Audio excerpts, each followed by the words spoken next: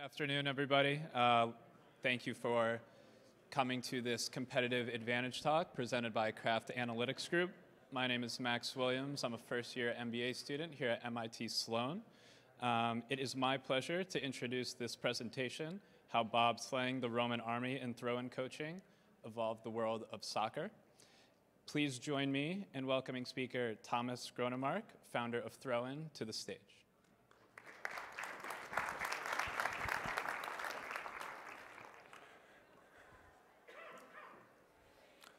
Hello, everybody. Uh, my name is uh, Thomas Grønnemark. I'm from Denmark, and I'm a professional soccer throwing coach. Um, I have like two jobs. One thing is, is coaching, analyzing in, in soccer. The other job is doing talks around innovation, and I had the pleasure to do a talk um, yesterday at uh, Harvard Medical School for doctors who are doing disaster medics. And, and even though sports, even though soccer is really important, if you can help people save other people's lives, I think, yeah, that, that yeah, makes, gives even more meaning, yeah. So, but again, I'm a, I'm a soccer throwing coach, and, and to be honest, it, it hasn't been an easy path. Um, but I've al always been really passionate about soccer throw-ins and, and yeah, that may sound weird, but, but already as a small kid, I was really crazy about throw-ins.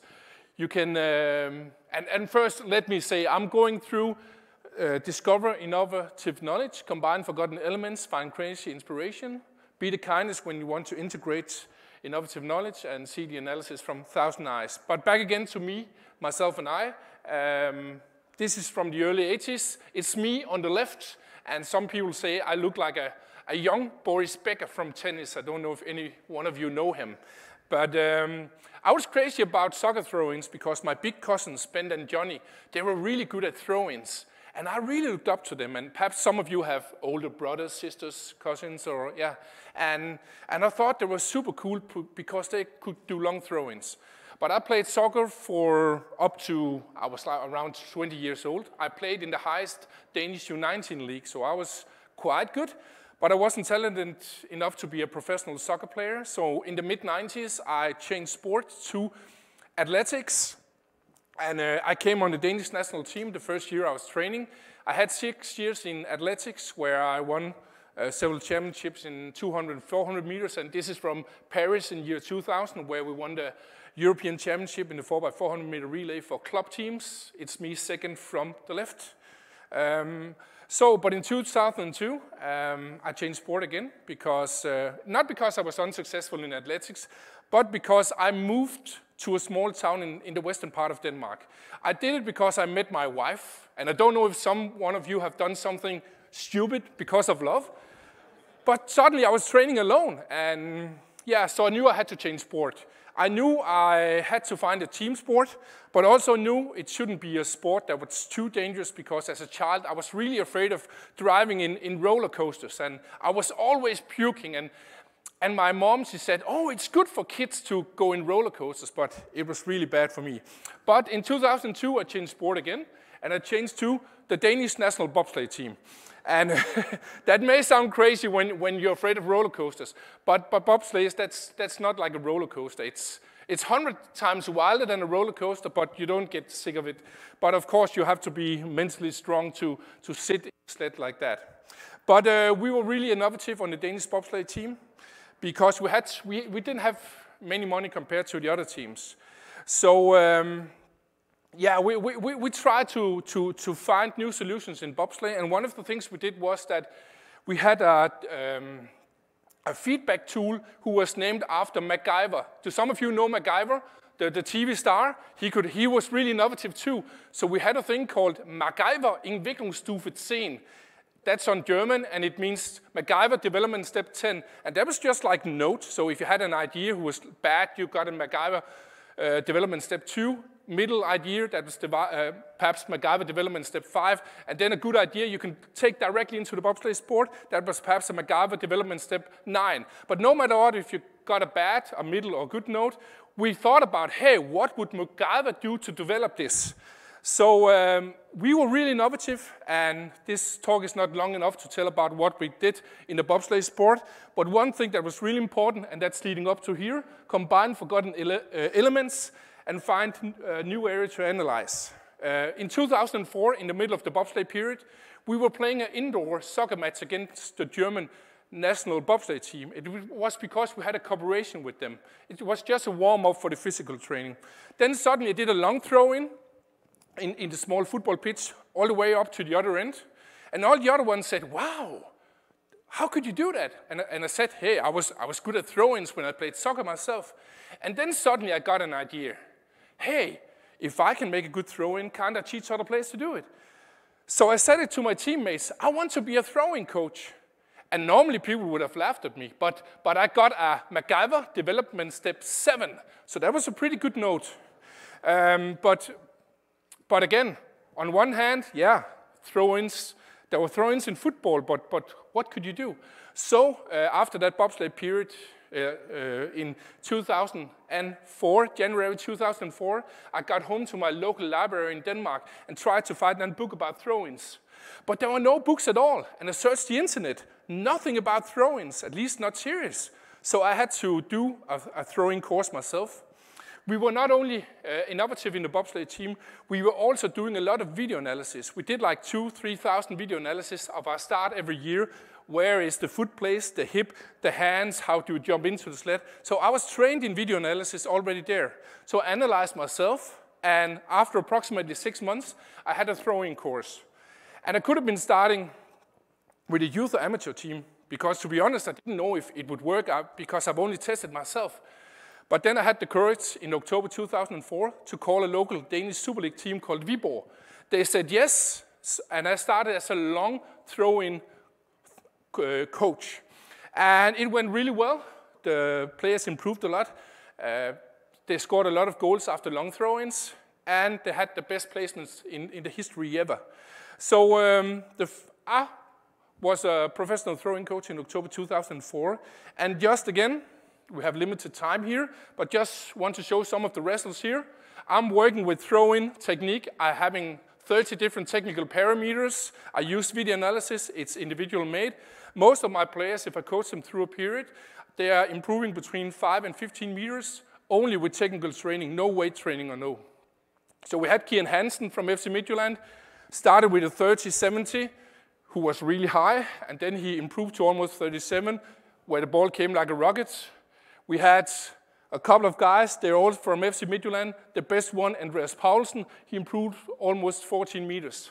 The little number here with bold 923, that's the throw-in area. So if you're standing in the middle of the pitch, you can throw in 180 degrees. So you're just ca calculating the throw-in area after the throwing length. FC Midtjylland scored 35 goals in the last four seasons. I was there from long throw-ins, so almost nine per, per season. Uh, had two Danish championships. I had a year AC Horsens in the 16-17 season, 10 goals in one season directly from long throw-ins. And then another important one, Andy Robertson from Liverpool FC. He started with 19 meters. A lot of you in here, you can throw further than 19 meters. And even though he'll never be one of the best in the world at long throw-ins, he improved to 27 meters and gained more than 530 square meters on his throwing area. And because when he threw that short 19 meters, it was way too easy for the opponents to put pressure. So again, gaining throwing length can both be a weapon, but also an extra uh, opportunity to throw to your teammates. But on to the next one, find crazy inspiration and expand your approach to your challenge. And in 2007, I had just got my third uh, team to coach in the throw-ins. But then suddenly the team sacked uh, the manager. They had a new manager who didn't want to use long throw-ins.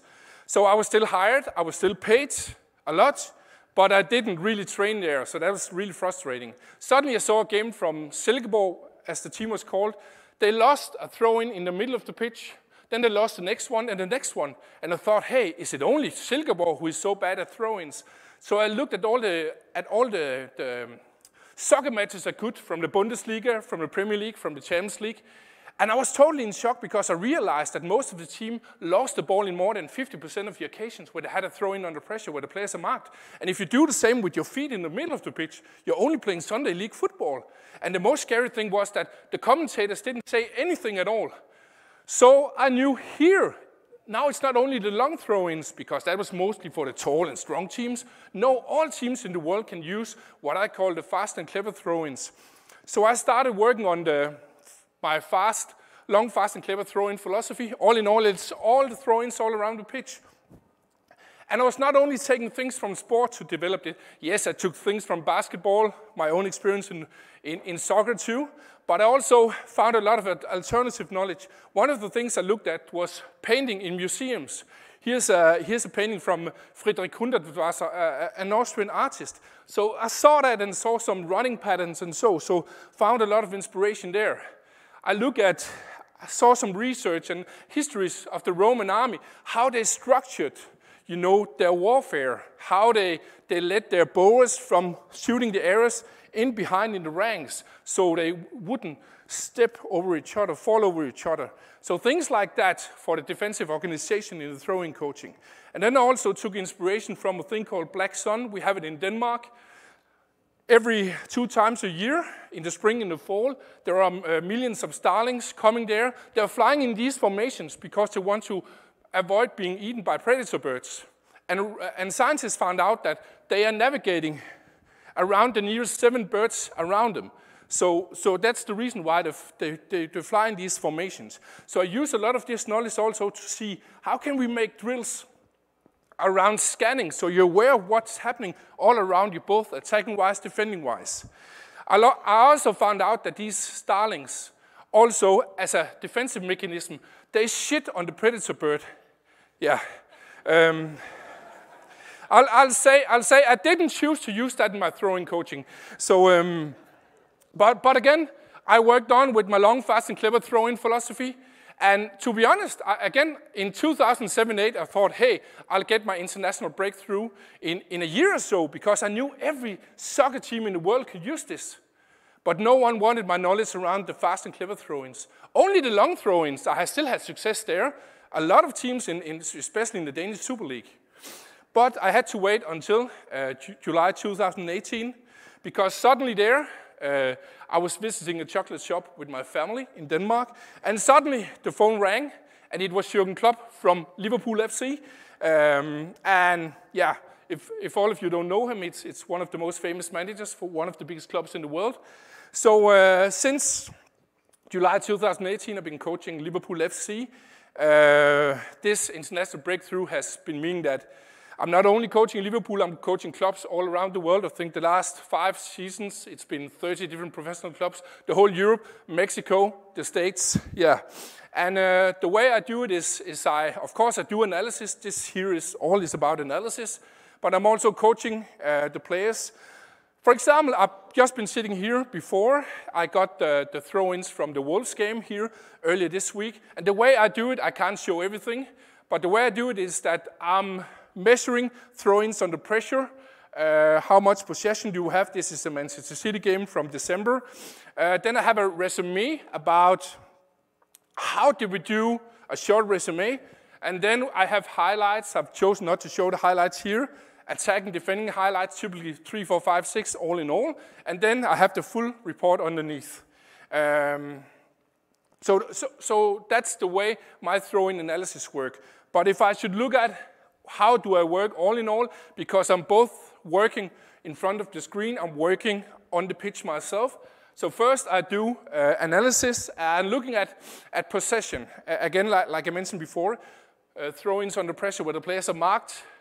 Uh, and it's really important for me to say that yes, the possession can show something, but sometimes it's also okay not to have possession because if we have a what I call, call a low risk, high reward situation, uh, for example, near the opponent's penalty area, it's okay to lose the possession, lose the duel, or give them a goal kick if we had good space and we had a good chance to, to create something great. So, so yes, possession is good, but it's not the whole truth, like many of you know. Um, then for me, the most important thing is also looking between the lines, because if you're just giving the coaches a number, you know, what can you use that for? Yes, you're good, but, but we want to make changes also so we can be even better or, or have the same good level. So, so all this analysis there, we use that in training. And I'm not, I'm a freelancer, so for example in Liverpool, I'm not there all the time. But uh, when I'm there, I'm training the players myself. Um, and different exercises I have like three parts. The first, it's the basic part. It's all about, of course, throwing longer, throwing more precise, but also team space creation.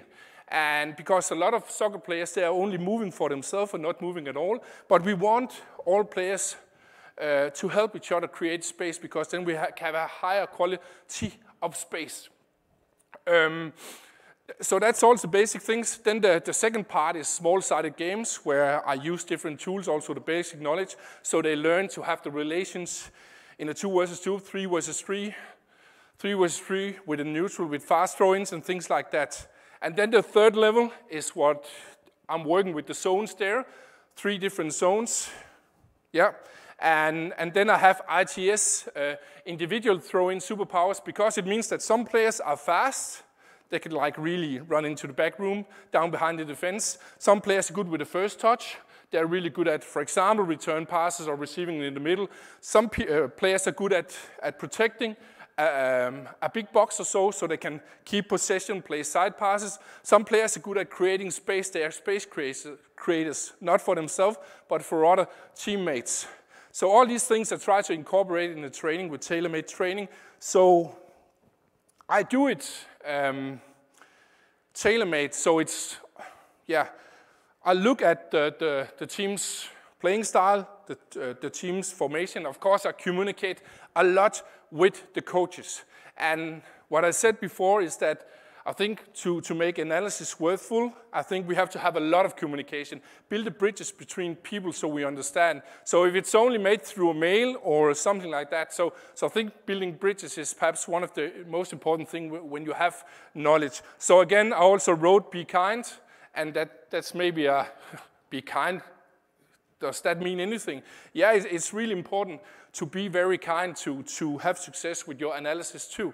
Um, and we know from research also that the best teams, the performing the best way, that, that's, that's where you have the closest work relations. So even though we are all skillful at what we do, it's, it's uh, that we can connect with, with, with, other people that's, for me, perhaps the most important. And then we have the match. When the players are playing then, they've heard the analysis, they've trained, and when we have a throw-in, we want to get the ball fast, we want to scan, can it throw fast? Is that a good option? If there's not a good option, we don't throw. If there's a good option, we throw. But if there's not a good option, we take a decision, yeah, we don't throw. Then we have patience, and in soccer you can easily wait 10, 15 seconds, space creation, and then we have to make a decision.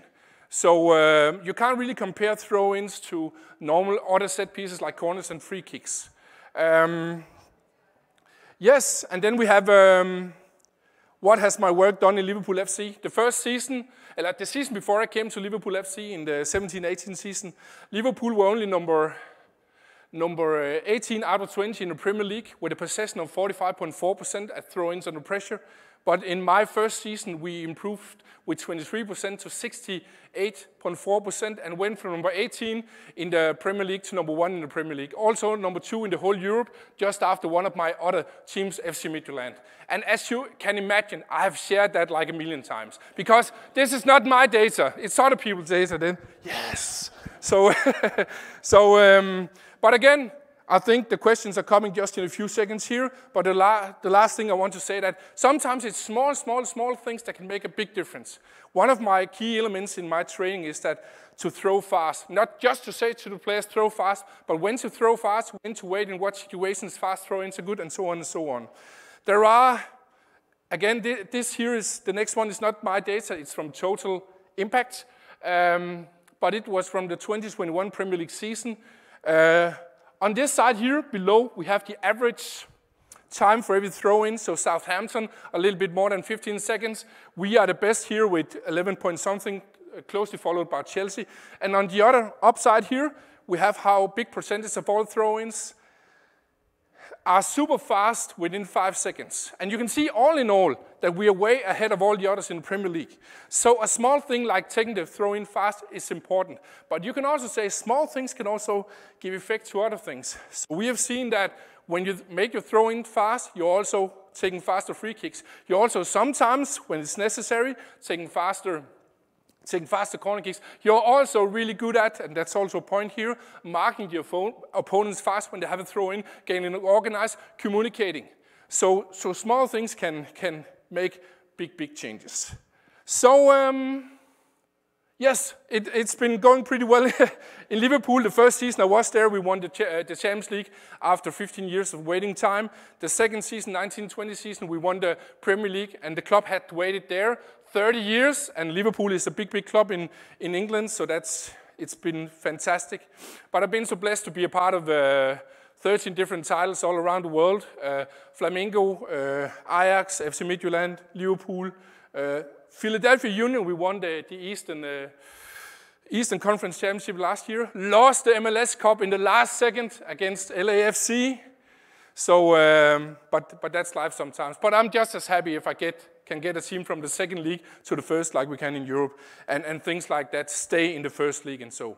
But um, that was it. If anyone wants to look more around my at my coaching, thomasgrønnemark.com, you can connect with me anywhere. I also started on TikTok. I have like there 18 followers or so.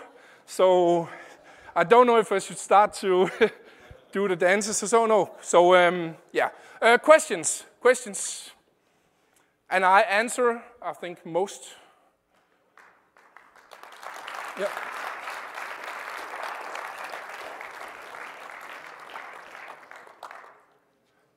Yeah, let, let's take it down there. Yeah.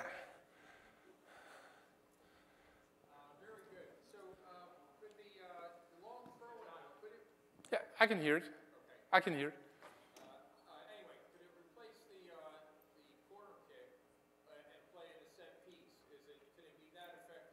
Yeah, yeah. I, I, if, if you ask me, I think long throw-ins can be even more effective. But the thing you want to have is a, a long throw-in expert, like a really world-class, because I see many teams, for example, in Denmark, who are taking long throw-ins, but they can't even throw to the, to the small box in the air. But if you have developed that long throw-in taker, I, I think they can be even more efficient than, than, than a corner kick, because if you have that expertise, you can put the throw in everywhere you want. How many times doesn't we see a corner kick going behind the goal or to the first man? So, so yes, uh, long throw-ins can be really efficient if you have world-class thrower and the right uh, strategy, because tactics is also a part of that. I, I didn't come into that here, but uh, yeah.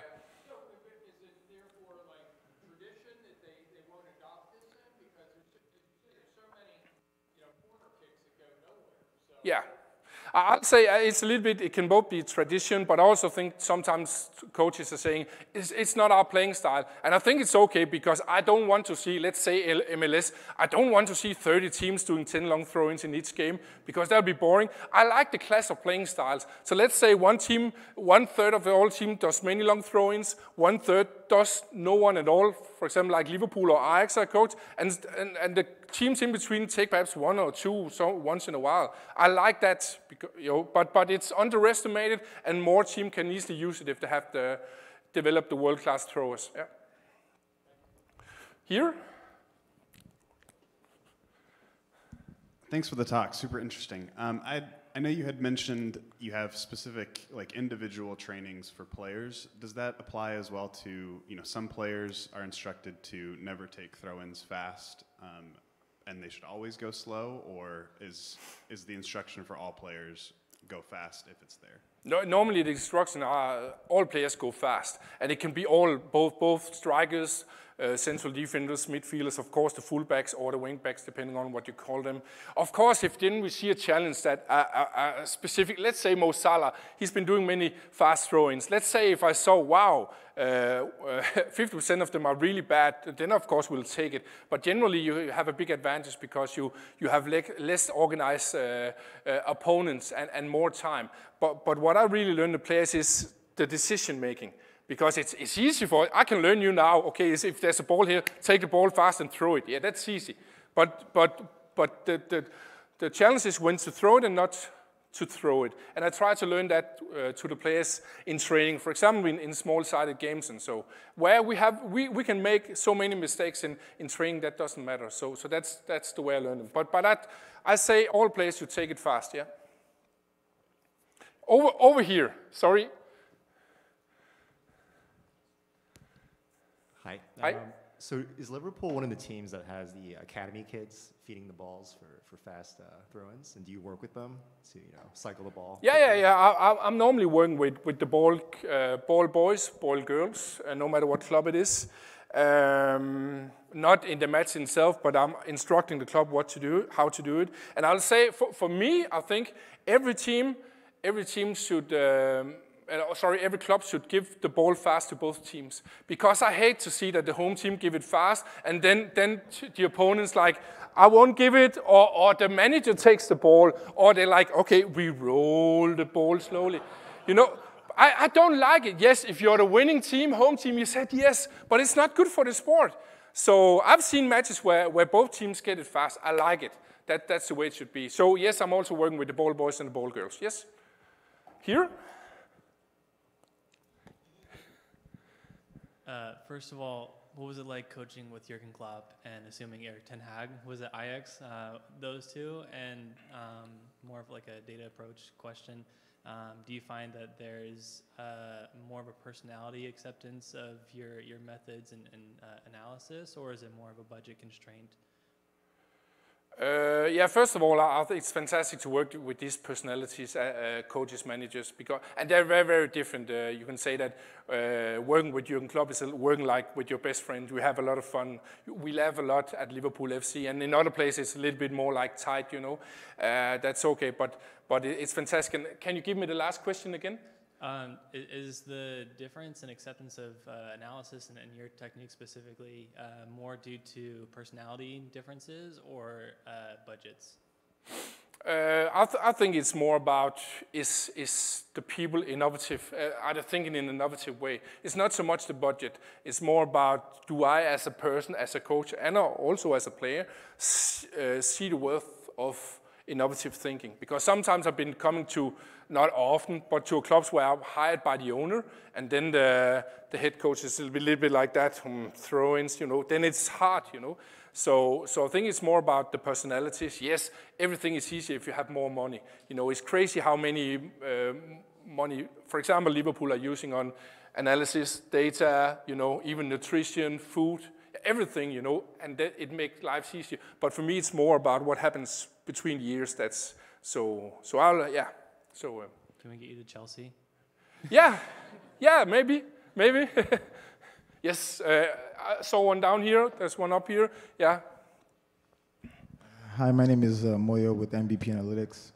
Uh, I just wanted to add that uh, we're in the presence of the only throw-in coach in the world. That's one and uh, you hold the record, or you held the record of the longest throw. I'm curious as to what the distance in regards to like radius and you know speed and all that good stuff. If you know like how far your throwing was. Oh yeah, so uh, again it was uh, because of the time limit, but in 2010 I set an official Guinness World Record of 51.33 meters. I thought it would be pretty cool to, uh, to have the world longest throw-in while you're the only throw-in coach in the world. And by the way, I set the world record with a flip throw-in, so jumping down on the ball, making a flip land. The only challenge was that I was a non-gymnast and I was weighing around 100 kilos. So one of the, one of the things I did there, I was to, to, hold better on the ball, I went into the national television, a, a kids television program, and I tested three different sticky stuff, like prunes on a ball, uh, sweets on a ball, licorice on a ball, a uh, standing throw in with each ball, and then a flip throw in with the winner. So I used licorice every time. So that was also kind of uh, innovative. So, but again, I, I tried to, to beat the, the world record and have the world record because I thought it would give me some attention. It did too. So, um, but, but yeah, I didn't tell, tell about it here because of time, yeah, so, uh, yeah. We have time for uh, one more question. Okay. You? You had said that you're very easily able to teach the physical approach to throw-ins and, and that it's really the decision mentality that matters most. So you'd invoked art and Roman history and, and we're obviously here at a data conference as well, but to what extent is that approach teaching decision making to a player more quantitatively or quantitative, qualitatively driven, psychological? Like, what do you think? How do you think about your framework? Yeah, yeah. I think uh, I think uh, for me it's it's. I, I, I think I have the right framework, and the reason why I think that is because uh, there's a lot of, been a lot of attention around my coaching, especially in Europe, and a lot of analysis people have been saying, okay, uh, Liverpool scored this goal, and and the, the, way they did it was that Sadio Mane ran there, and then Jordan Henderson ran there, and Bob Firmino ran there into that space, got the ball, and then they scored. And if we do the same, we, we, uh, we can also have success. But that's not the way I do it. Like I said before, I have the, like the basics. I have the, the, the middle things with the small side games and then the zones. So I'm learning the players that, let's say we have a throw in in the middle. In, I have, for, for example, 15 basic options, but in theory, they can be in thousands of ways because different players, different angles, different timing, different lengths and everything.